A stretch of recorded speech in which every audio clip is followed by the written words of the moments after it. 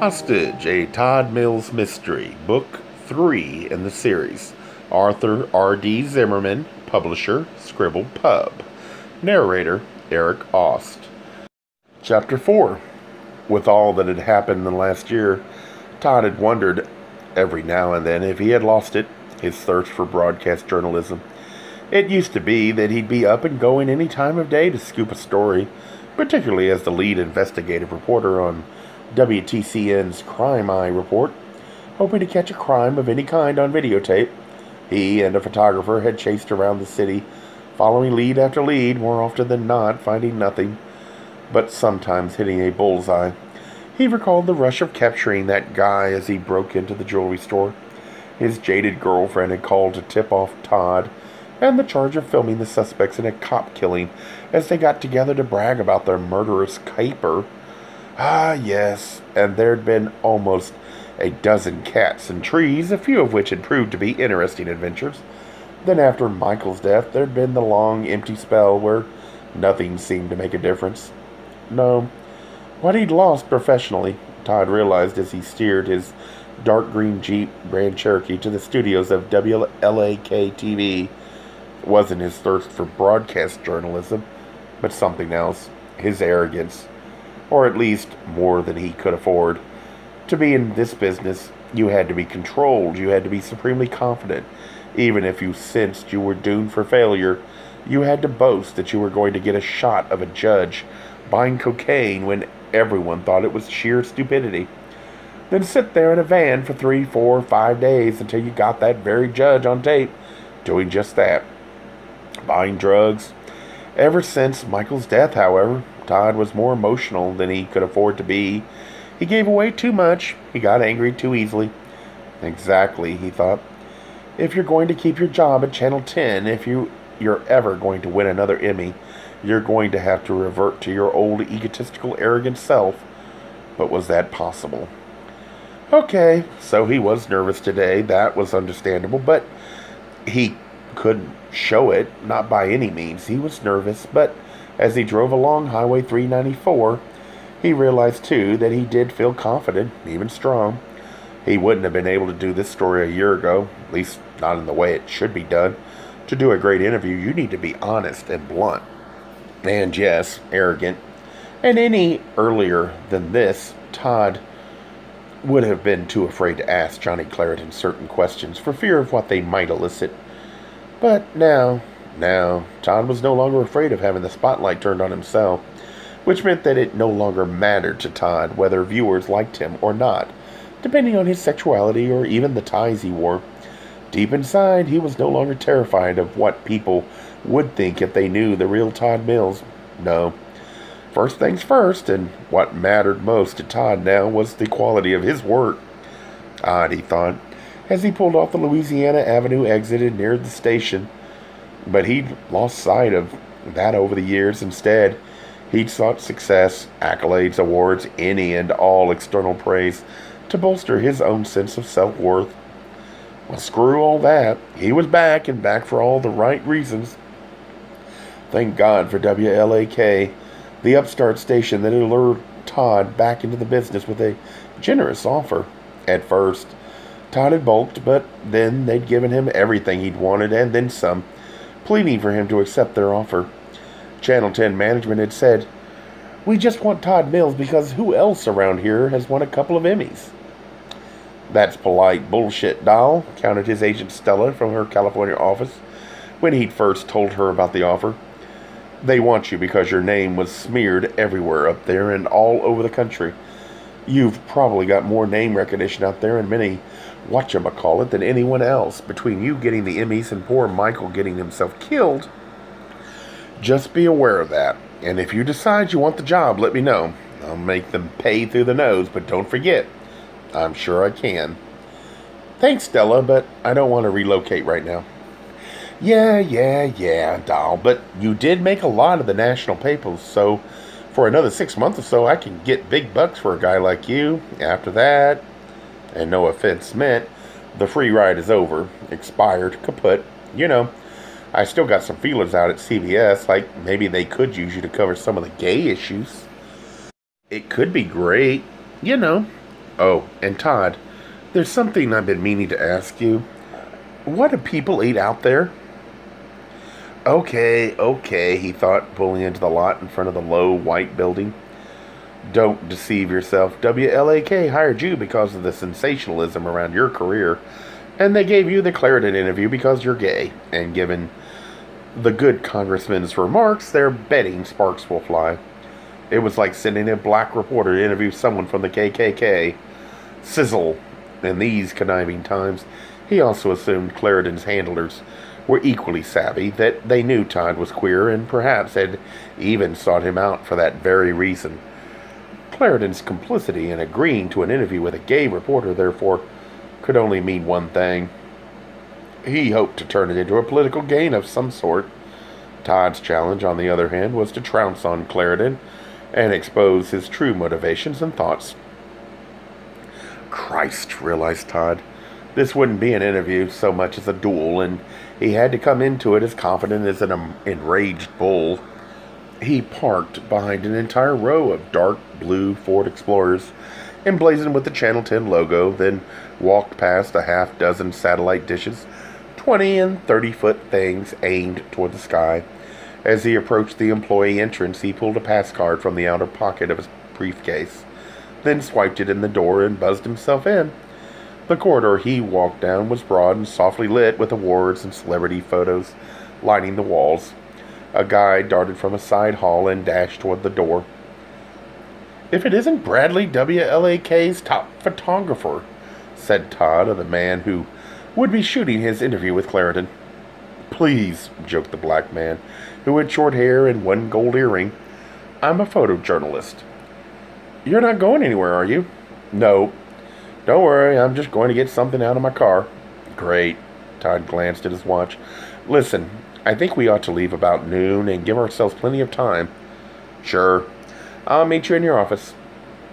Todd turned into the newsroom, a huge space with exterior windows on one side, twenty cubicles grouped in the middle, the raised assignment desk looming over all, and various private offices and technical rooms on the other sides, always fluttering with the hyperactivity of reporters, editors, and producers.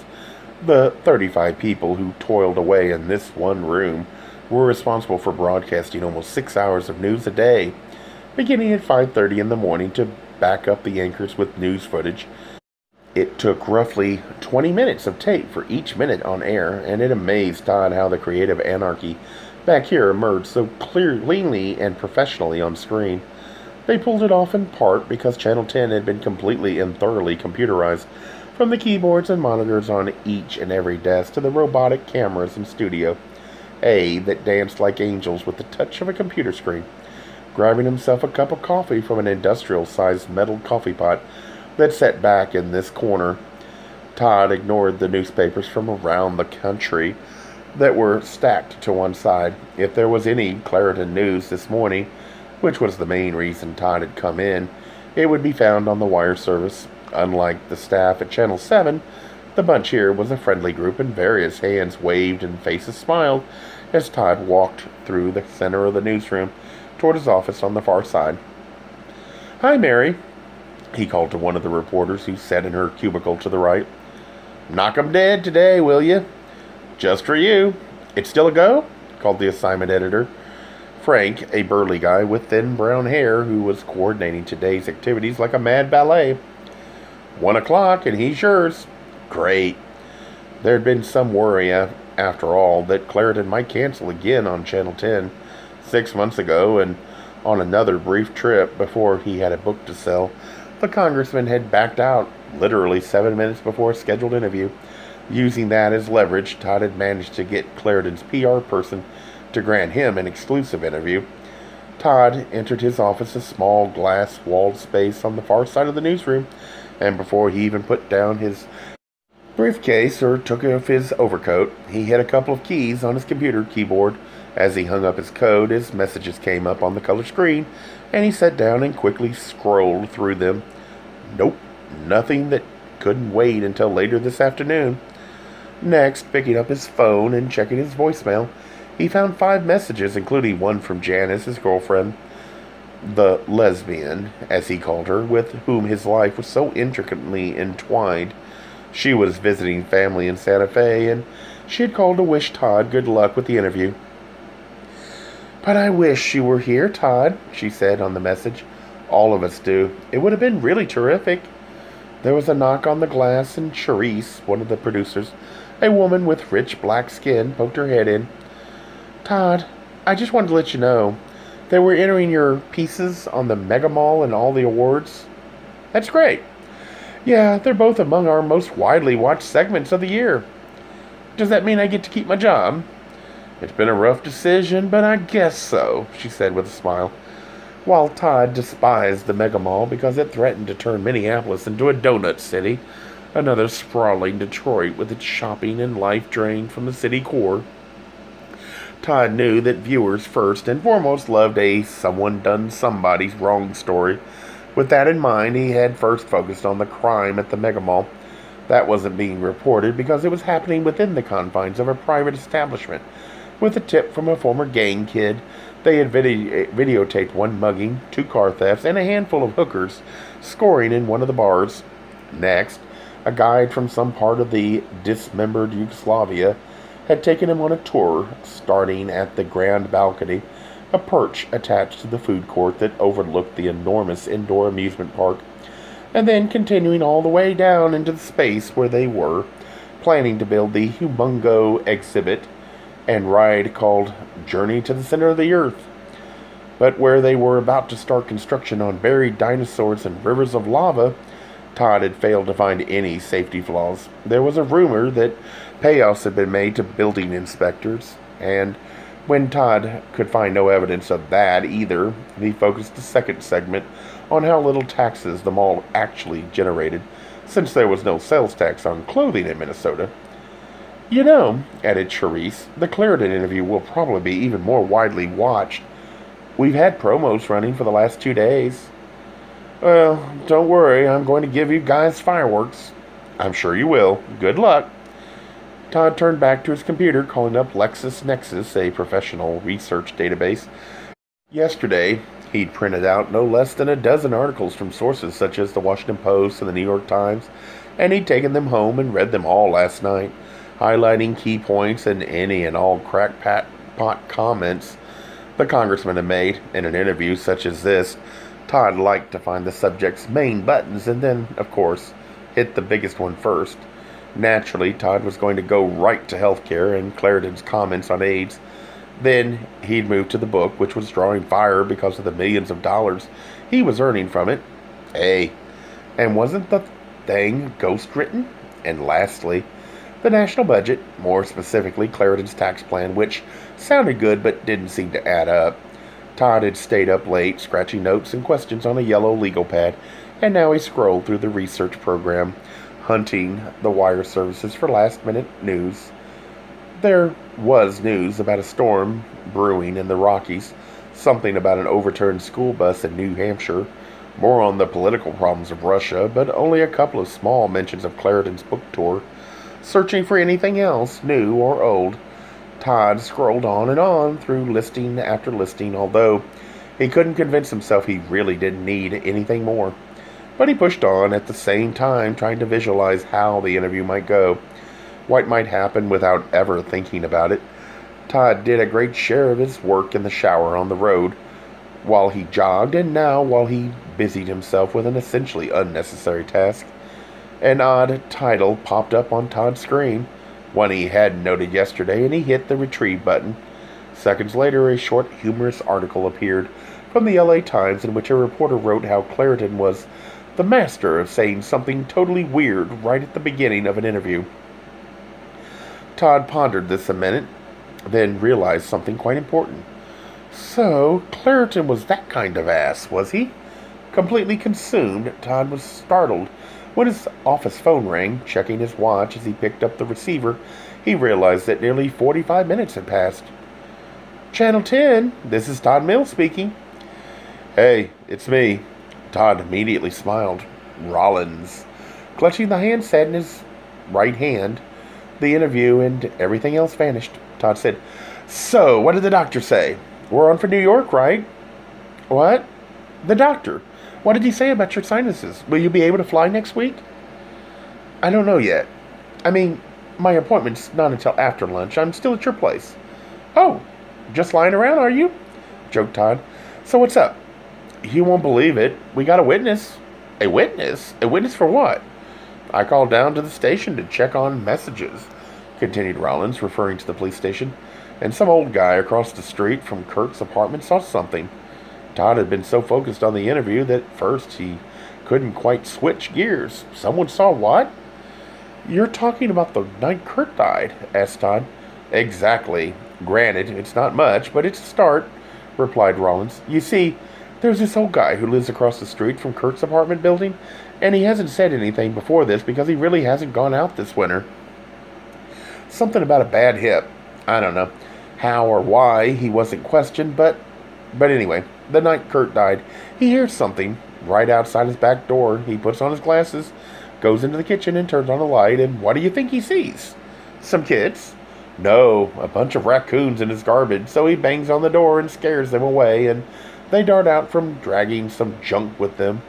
The old guy then goes to the front of his house without turning on any lights, and when he looks out the window, he sees the raccoons in the middle of the street ripping apart a McDonald's bag. Apparently, his grandson had stopped by and brought him some dinner. Gutsy little things. He thinks Gutsy because they broke into the garbage and stole the last of his dinner, and Gutsy because they're not even frightened by some guy walking down the street. Get this a guy who turns and heads into Kurt's building. You're kidding! Nope. So what does this guy look like? pressed Todd. Did the old man see much? Better yet, does he even remember? He was wearing a dark coat and hat, and he was white. Great. I wonder how many white guys in Minneapolis own dark coats. True. It's not much to go on, replied Rawlins over the phone. But it does prove someone went into the building, and whoever that was obviously went into Kurt's apartment because none of the other tenants had any visitors that night. None. That much we already know. Any idea what time of night this was? Shortly after two, the old man is sure about that because he looked at his bedside clock when he got out of bed. Which is about when Kurt died, said Todd, recalling the coroner's report. So it obviously wasn't a simple suicide. Nope. Either it was an assisted suicide, which I suppose isn't all that bad, is it? Or, or just a plain old murder. It probably wasn't the later, pointed out Todd. After all, nothing had been taken, not Kurt's stereo or his VCR, or even his gold watch, which was sitting right on his dresser. So, given Kurt's health, commented Todd, I suppose an assisted suicide is the logical explanation. I mean, if I were that sick, I'd probably want something like that. With a deep sigh, Rawlins added, Yeah, me too. But listen, I have to get going. We're leaving in about 20 minutes. Well, good luck. And, Todd? What? Don't forget your tie. Thanks. I'll put it on right now. I'll be thinking of you. And I'll be thinking of you. Todd hesitated. Listen, if your doctor says you can't fly, we can cancel everything in New York and just take a drive up to Lake Superior or something. Don't worry, I'll be fine. Even though I had to do it before he said too much about our plans, I thought I would have been more upset about killing Kurt. On the other hand, did I really kill him? Or did I merely help him catch an earlier train out of his own personal hell? I mean, Let's face it, anyone would have done as much for a dog at half the pain. I've never seen anything more cruel than AIDS. The way it attacks your entire body and creates all those sores and weird infections. They used to say the lucky ones got something like pneumonia and croaked overnight. Now they say the lucky ones get the pills, all those protease inhibitors or whatever. Frankly, I don't know which is better. No one does actually. Over these long years of the epidemic, I've just seen too many guys linger and linger, bouncing from crisis to crisis, hope to despair, Kaposi's sarcoma to blindness to fungal infections. Nowadays, some guys are able to get their T cell back up there, but who knows for how long? Sure, the new drugs are inching toward promise, but if you ask me, AIDS is like watching the end of your own life come racing towards you you know it's going to smash right into you eventually. take you six feet under, and there's nothing you can do. Watching Kurt fade away over the past year has affected me like nothing else. So, would I do it again? You bet. A Gay Mysteries audiobooks. I think it is easy to hate a label, but a face humanizes the word. So, this effort is twofold to offer comfort to those like myself that your world didn't end because you don't fit into the view of acceptable society on both sides and in hopes of helping those with family that are LGBTQ, that it doesn't mean we are aliens from the child they once knew. Reassure them so they can maybe be supportive at the same time, being true to their values.